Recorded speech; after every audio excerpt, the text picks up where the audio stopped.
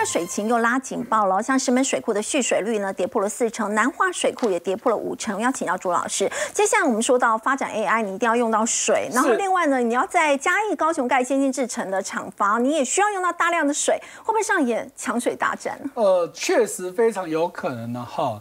去年全台湾都很 OK，因为降雨多又有台风，所以水是很丰富的。可是从去年底到目前为止，住在南部的人就有感受到的，几乎没下雨。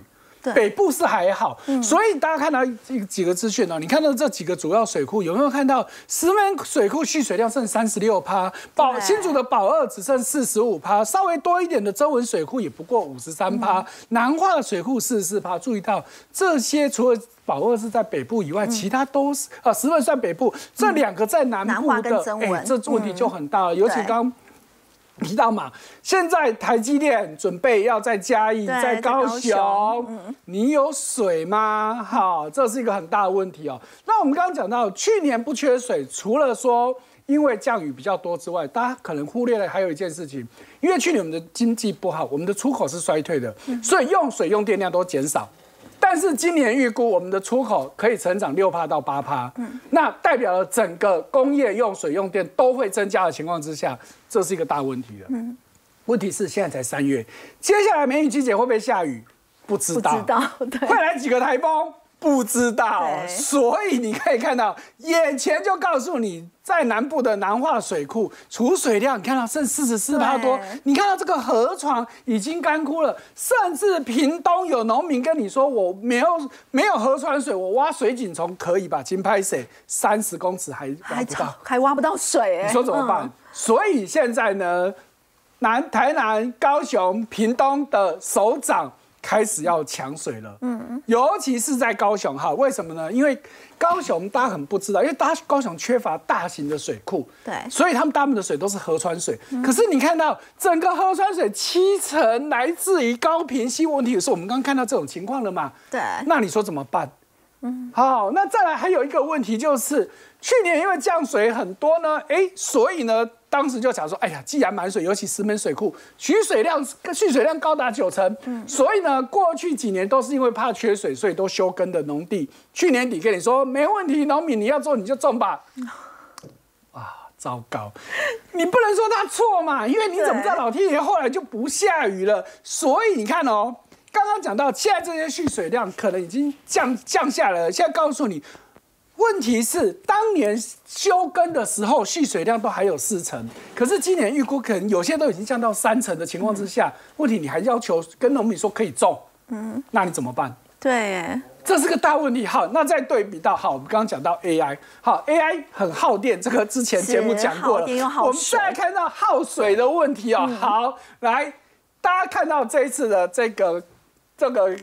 推打 G V 的大会都已经跟你讲这些，对，好，所以你看到他跟你说，我现在要用液冷气冷却。嗯，因为呢，高速运算会产生高热。对，你看哦，即便用了这个冷冷却之后呢，温度其实还是有四十五度。嗯，四十五度还是热的。可是你知道，如果没有去冷却的话呢，哈，网络上有很多的 YouTube 拍的影片，可以煎蛋、煎牛排，你不要怀疑，不是开玩笑，你就知道不是热，是烫，烫，是烫的，所以它必须要去冷却。好，可是问题是现在这个 AI 到底有多耗电、多耗水？大家听都没有什么概念，我们就用 ChatGPT 大。最熟悉的，嗯，我用一次 ChatGPT 去问一个问题，它居然就要耗掉大概五百 CC 的一瓶保特瓶的水。哇！问一个问题，问一个问题，问一个问题，就耗掉一瓶保特瓶的水。如果你你是要它去生成一张图，对，对，它要耗的电，水啊，它耗的电是你一天一只手机的用电。哇！好，问题是它一一个月要用十五。有十五亿则问题要回答，所以你看，这是一个多可怕的问题。再来，好，就不要说 AI。像 Google、微软乃至于 Meta，他们是有很大的资料中心。这个资料中心也都是吃水吃电的大怪兽啊！好，我们就以 Google 来说好了。Google 在台湾准备建三座的资料中心，一座在彰化早就已经落成运作了。好，台南本来有一座要说要说要盖，可是到目前没动工。可是云林的那一座已经在盖了。哇，你想？Google 全世界有二十八座，光台湾就有三座，哇，好看得起台湾，好喜欢台湾哦。可是其中有一个问题，大家可没思考到了，没有错，它会在台湾建资料中心，可能是因为台湾有科技当八股，但是还有一个问题就是台湾的水电非常便宜。嗯。尤其是我们对资料中心的设置是没有水电的限制的，可是你对比到新加坡也好，韩国也好，他有说哦，你的资料中心如果耗电太多，我是可以把你卡掉的。台湾没有限制，是，那你说这怎么办？